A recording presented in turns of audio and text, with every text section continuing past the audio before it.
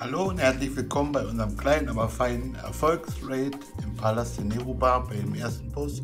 Ulgorax mit dem Erfolg Schleim macht eben doch glücklich.